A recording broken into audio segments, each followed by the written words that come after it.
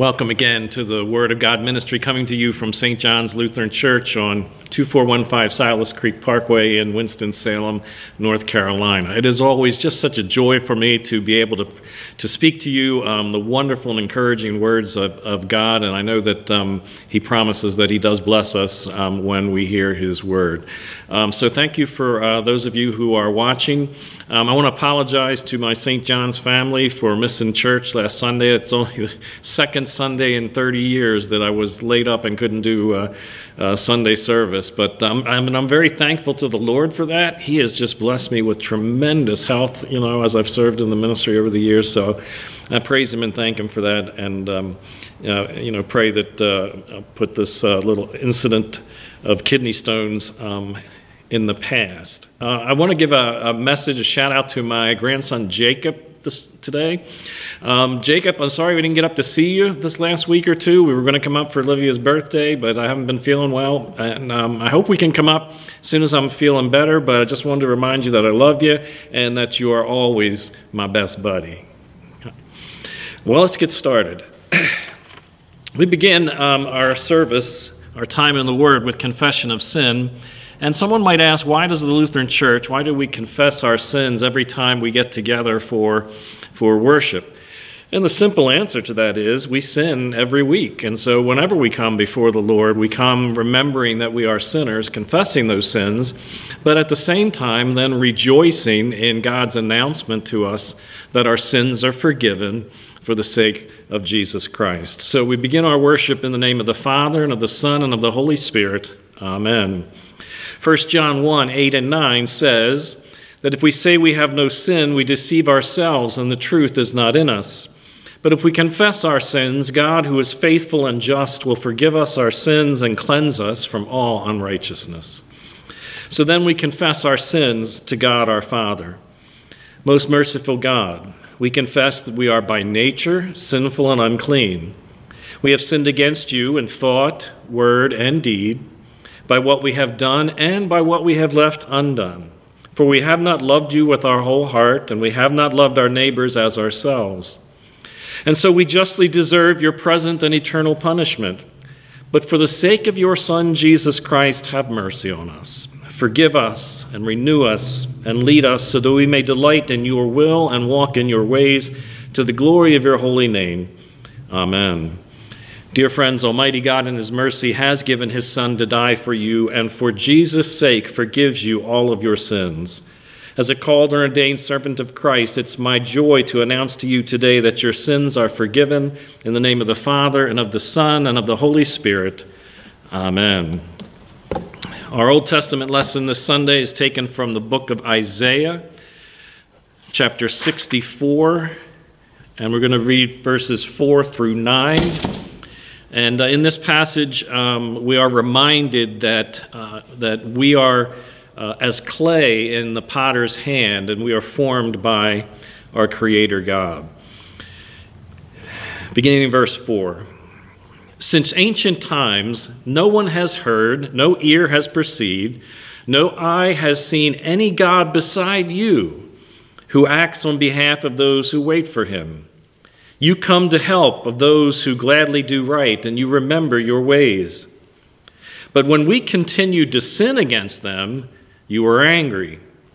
How then can we be saved? All of us have become like one who is unclean, and all of our righteous acts are even like filthy rags. We all shrivel up like a leaf, and like the wind, our sins are swept away. No one calls on your name or strives to lay hold of you, for you have hidden your face from us and have given us over to our sins. Yet you, Lord, are our Father. We are the clay, and you are the potter. We are all the work of your hand. So do not be angry beyond measure, Lord, and do not remember our sins forever. Oh, look on us, we pray, Lord, for we are all your people. This is the word of the Lord. Thanks be to God. Our second lesson is taken from the New Testament letter to Timothy, 1 Timothy chapter 4, beginning in verse 11. And Paul's giving Timothy some instructions for Timothy's ministry um, as Paul's uh, writing this letter before he uh, went to his death in Rome. He says, Command and teach these things. Don't let anyone look down on you because you're young, but set an example for the believers in speech, in conduct, in love, in faith, and in purity. Until I come, devote yourself to the public reading of Scripture, to preaching, and to teaching. Do not neglect your gift, which was given you through prophecy when the body of elders laid their hands upon you. Be diligent in these matters. Give yourself wholly to them, so that everyone may see your progress. Watch your life and doctrine closely. Persevere in them, because if you do, you will save both yourself and your hearers. This is the word of the Lord. Thanks be to God. Please join me in the Apostles' Creed. I believe in God, the Father Almighty, maker of heaven and earth, and in Jesus Christ, his only Son, our Lord, who was conceived by the Holy Spirit, born of the Virgin Mary, suffered under Pontius Pilate, and was crucified, died, and was buried. He descended into hell. The third day he rose again from the dead. He ascended into heaven and sits at the right hand of God the Father Almighty. From thence he will come to judge the living and the dead.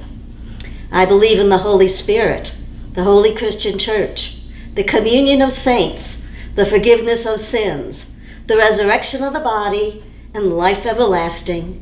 Amen.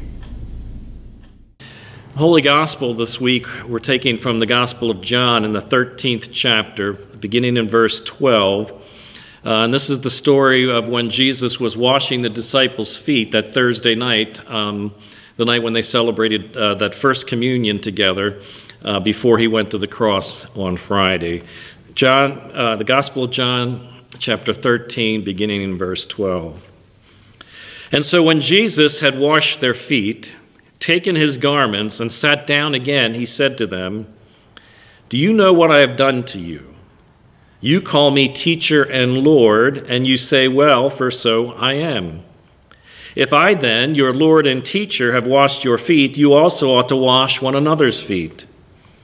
For I have given you an example that you should do as I have done to you.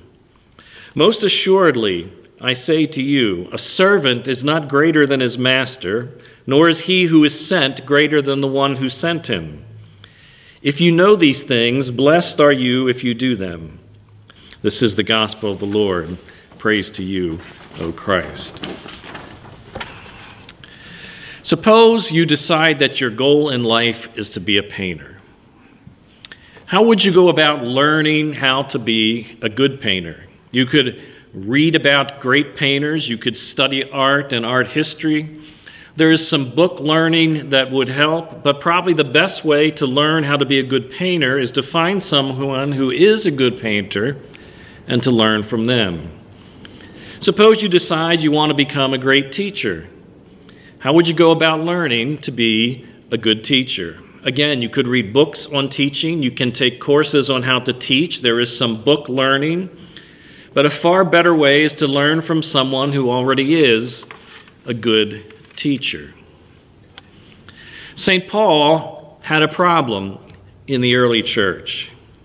Lots of Jews and Greeks were being converted to the Christian faith from paganism and from false religions. So Paul had to teach them what Christians believe.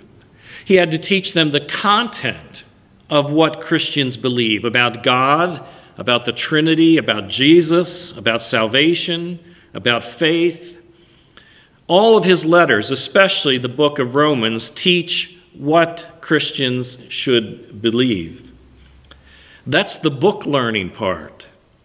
However, Paul also had to teach these new Christians how to be a Christian, how to live, look, sound, and act as a follower of Jesus. And so, what was Paul's solution?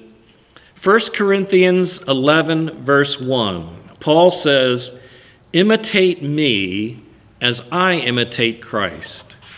Imitate me as I imitate Christ. Let us pray.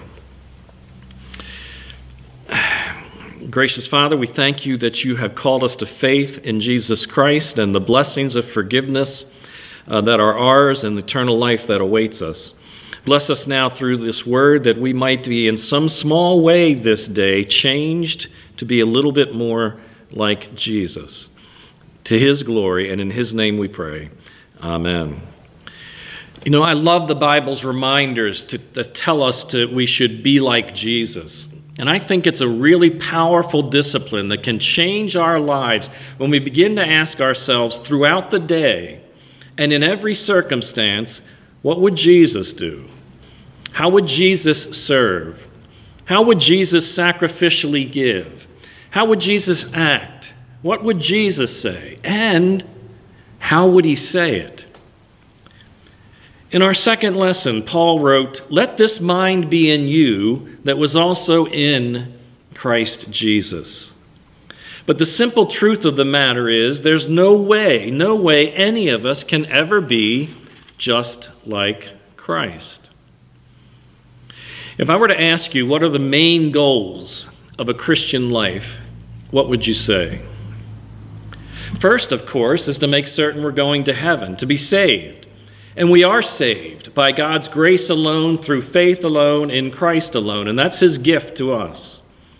So you and I have already achieved that primary goal. Jesus said, Whoever believes in him has eternal life. Not will have, has. It's ours. It's our inheritance that can't be taken away from us.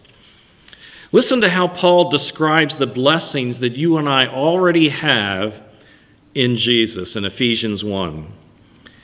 Praise be to the God and Father of our Lord Jesus Christ, who has blessed us in the heavenly realms with every spiritual blessing in Christ. For he chose us in Christ before the creation of the world to be holy and blameless in his sight. In love, he predestined us for adoption to sonship through Jesus Christ in accordance with his pleasure and his will, to the praise of his glorious grace, which he has freely given to us in the one he loves. In Christ, we have redemption through his blood, the forgiveness of sins in accordance with the riches of God's grace that he has lavished upon us with all wisdom and understanding. Through God's gift of Christ, through God's gift of faith in Christ, our goal of eternal life is already guaranteed. All of our spiritual blessings. Others might say, well, if salvation is the primary goal for all people, then the next goal for the Christian life should be to share and spread the gospel so that others can come to faith and salvation in Jesus. And that is the Great Commission, the last instructions Jesus gave to his followers. Go into all the ethnic groups and make disciples, bring people to salvation so, so there are more people who will follow Christ. So the primary goal is to believe, to be saved through believing in Jesus. The secondary goal is to bring salvation to others who do not yet believe. Is there another goal to the Christian life? I believe there is. I believe the Bible teaches us a third critical goal of the Christian life Christ likeness. Christ likeness. The goal of every day living and becoming a little bit more like Jesus. To the congregation in Corinth, Paul wrote, you all, you believers, are being transformed into Christ's likeness that you reflect to the world. He uses the example of Moses and how Moses' face glowed and reflected God's glory after he came down off of the mountaintop. Likewise, Paul is saying that you and I are being transformed into Christ likeness so that we too can reflect God's glory to the world around us. Now, brothers and sisters, we do not walk in Christ likeness for our own sake. We want to walk in Christ likeness so that people will see the glory of Christ reflected in us and, and through us. In Romans 8, Paul says of believers that God predestined us to be conformed to the likeness of his Son. God predestined us from the very beginning that we would be conformed to the likeness of his Son. So, how do we learn to walk in Christ likeness? Well, we certainly have the book learning, right? The scriptures. There are a lot of biblical passages on what it means to live and walk in Christ. Here's an example from Paul's letter to the Colossians in chapter 3. He's speaking to, to you and me, to us, to believers. He says, Since then you have been raised with Christ, set your hearts on things above, where Christ is seated at the right hand of God. Set your minds on things above, not on earthly things. For you died, and your life is now hidden with Christ in God. And when Christ, who is your life, appears, then you will appear with him in glory. Therefore, put to death whatever belongs to your earthly nature sexual immorality, impurity, lust, evil desires, and greed, which is idolatry. And because of these things, the wrath of God is coming. You used to walk in these ways in the life you once lived. But now you must also rid yourselves of all such things as these anger, rape, malice, slander, and filthy language from your lips. Do not lie to each other, since you have taken off your old self with its practices, and you have put on the new self which is being renewed in knowledge in the image of its creator. However, Paul also knew that besides having the instructions, besides having the learning, besides having taken the course, we still need examples to follow. And so, even after Paul had written all these things to the church members at Corinth, Paul says, Look, just imitate me as I imitate Christ. Well, if the goal is Christ likeness, why didn't Paul just say, imitate Christ? Well, you might as well tell a beginning guitar student, these were new believers, you might as well tell a beginning guitar student to be like Eric Clapton. That's who you ought to be like. And they would say, No way, there's no way I could ever play like him. It would be defeating and frustrating. I mean, every week after you come in and you're twanging your way through Happy Birthday to You, and the instructor yells, No, no, no, no, no, do it like Eric would. And then you give up. You might as well tell a 10 year old little leaguer, hey, just imitate Hank Aaron or Mookie Betts. Not, that's too far above where a 10 year old is to even begin to conceive of what that means.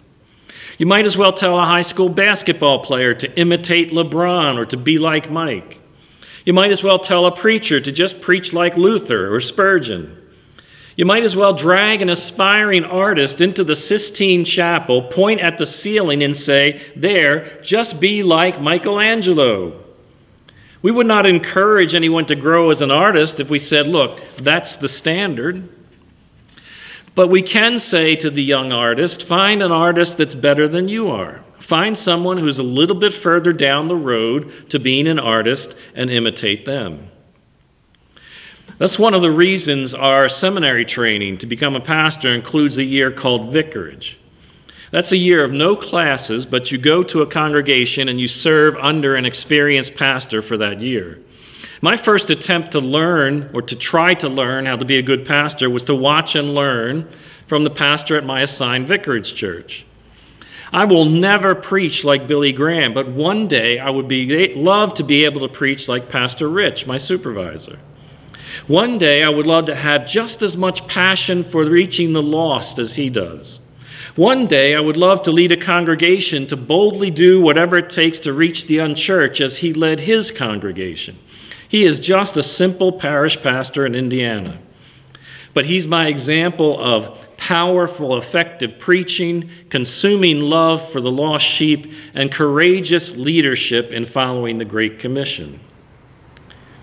One of the best ways to get closer to being like Jesus is to find someone we can see, we can talk to, that we can follow, Someone who has been striving to be like Jesus and is a little bit further along than where we are. And then to imitate that person as he or she imitates Christ. Find someone who's a little bit further down that road and imitate them a pastor, a Sunday school teacher, an older Christian.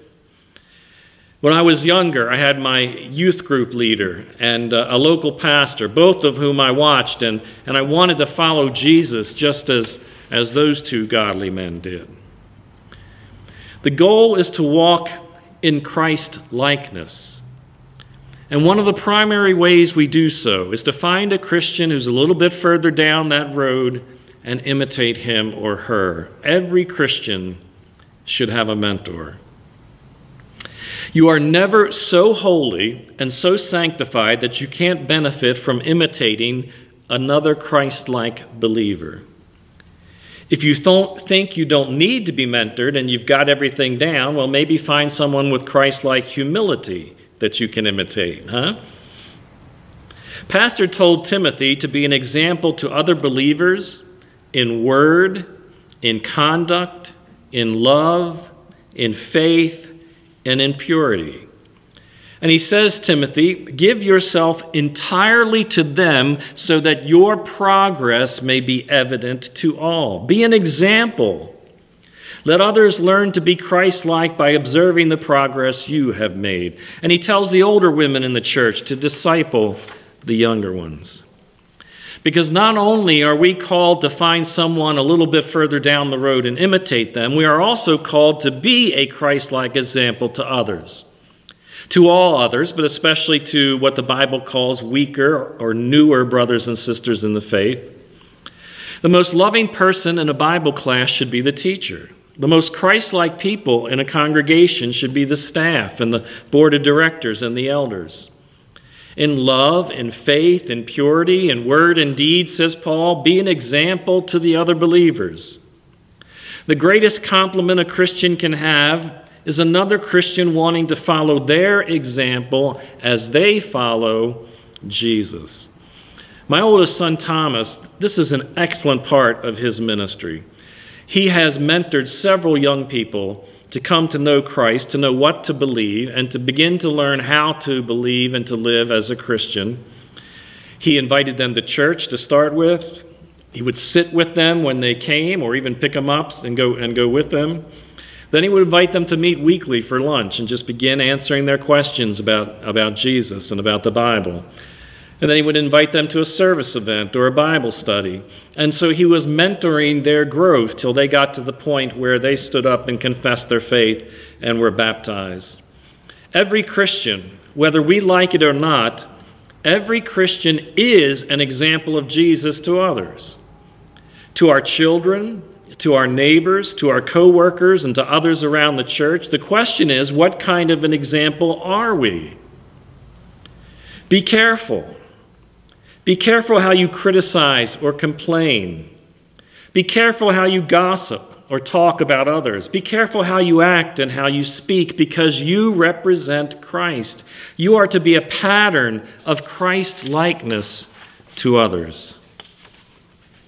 There was a little boy and his dad was a simple factory worker who had been poor and destitute. And the dad worked very hard, but they didn't have very much. And certainly his dad was not on the high stratus of society. But the boy's dad prayed with the little boy often. He read the Bible to the little boy daily. So one day, the little boy's Sunday school teacher was giving a class, and she asked them a quiz. She said, I'm going to describe someone, and you tell me who this is. She says he was born all alone to two teenage parents. His parents were very poor. He grew up to be a man who was always loving others, a man who was always kind, a man who was always helping others, and a man who loved God all his life. Who was he? And the little boy said, I know. That's my daddy. Two powerful principles that God uses for all believers as we struggle to the ultimate goal of being like Christ. One, imitate another. Find someone who's farther down the line in loving and living like Jesus and imitate them. And then, two, be careful to be a Christ like example to others so that you can mentor others closer to Jesus. And then finally, when will we reach the goal? When will we become Christ like? In heaven. John writes, When we see him, we will be like him. Scripture says that Jesus will present us faultless before God the Father. Until that day, we will sin. Until that day, we will fall short. But one day, set free from our sinful flesh, will be transformed into true Christ likeness. May it be so, O Lord. Amen. I want to share with you the words of a, a, song that's pretty popular out there right now. And if you want to listen to it, can, I'm sure you can find it on YouTube. It's called Less Like Me, uh, and it's by Zach Williams. The song's titled Less Like Me. He says, Oh, I have days when I lose the fight, try my best, but I don't get it right. Where I talk a talk that I don't walk and miss the moments right before my eyes. Somebody with a hurt that I could have helped, somebody with a hand that I could have held, when I just can't see past myself. Oh Lord, help me be a little bit more like mercy, a little bit more like grace, a little bit more like kindness, goodness, love, and faith, a little more like patience, a little more like peace, a little more like Jesus, and a little less like me. Yeah, there's no denying I have changed because I've been saved from who I used to be.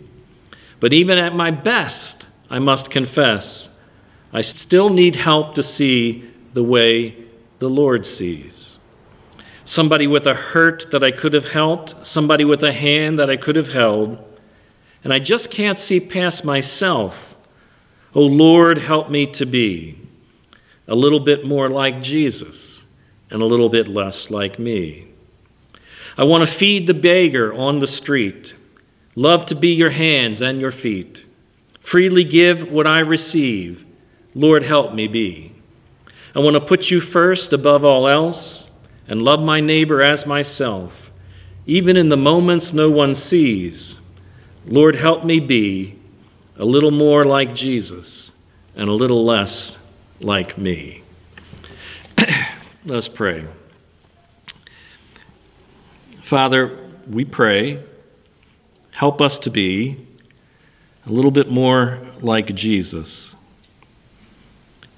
so that we can reflect his glory and grace and mercy to those around us. And so that we can also um, guide and mentor others as they walk the journey with us. And Lord, each of us want to thank you for those people who have been in our lives, who have mentored us in our Christian faith. We all have them, Lord. We all have them. Please let everyone take a moment today and just thank the Lord for someone who was a, a mentor or an example of Christ in your life and, and give God thanksgiving for that person. And then be inspired each day to just think about think about your actions, your attitudes Think about each situation as you come across it and ask the Lord to help you deal with it, not in your own flesh, but to deal with it in a Christ like spirit. Lord, bless our efforts to be like Jesus so that Jesus can be glorified to the world. It's in His name that we pray. Amen. We will join together in the Lord's Prayer as we typically do. So pray with me at home if you would. Our Father, who art in heaven, hallowed be thy name. Thy kingdom come, thy will be done on earth as it is in heaven. Give us this day our daily bread, and forgive us our trespasses as we forgive those who trespass against us. And lead us not into temptation, but deliver us from evil. For thine is the kingdom, and the power, and the glory, forever and ever. Amen. Dear friends, may the Lord bless you and keep you. May the Lord make his face shine upon you and be gracious unto you. May the Lord look upon you with favor and fill you with his peace. Amen. Pray that the Lord will bless and watch over you and give you good health. uh, and protection and care throughout this coming week so that you can join us again next Sunday, um, prayerfully to be blessed by the Word of God. Thank you.